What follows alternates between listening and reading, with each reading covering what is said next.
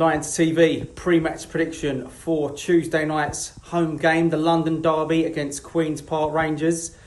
Coming into the game, I think QPR have lost two in their last three games in all competitions against two teams in the bottom three. We come into the game on the back of a great result against Cardiff. But if you look at our results against QPR, I think we've only won twice in our last 21 games in the league.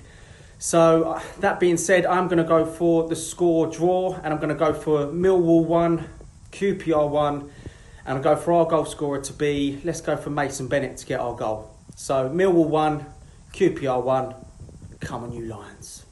Lions TV pre match prediction for tomorrow night's home game to QPR. Um, good result Saturday against Cardiff, um, but I've got a feeling this one's going to be a draw. Um, score draw, 1 0, with uh, that man Jed Wallace to get the goal for us. So, yeah, Millwall 1, QPR 1. Come on, you Lions. Lions TV pretty much prediction for the game against QPR at the Den. I fancy one all draw. I reckon.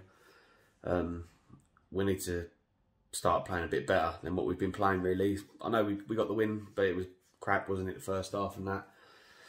Um, but we've got no Afobe, I've heard, and Freeman's injured as well. I didn't expect him to play anyway.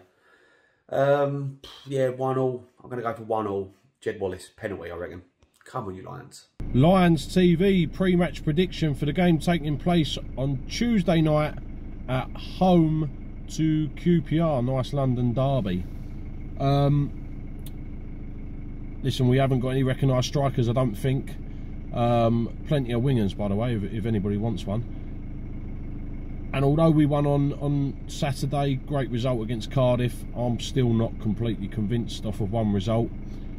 And on the basis that we've also lost both our London derbies this season at home, um, both losing at 2-1 as well, um, I'm unfortunately going to go for the same result. So I'm going to go Millwall 1, QPR 2. Let's go with a, uh, another Murray Wallace goal. Um, seems to be playing out of his skin at the moment. Got to be player of the season for me. Um, I hope I'm wrong. Happy Valentine's Day to everybody. Come on, you Lions.